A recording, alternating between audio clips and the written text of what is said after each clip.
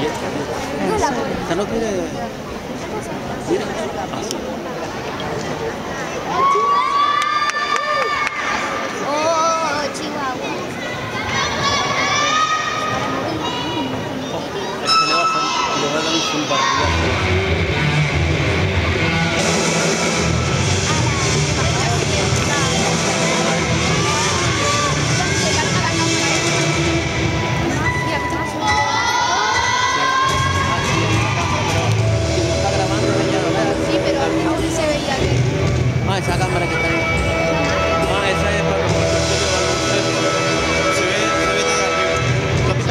¿Has visto algún partido?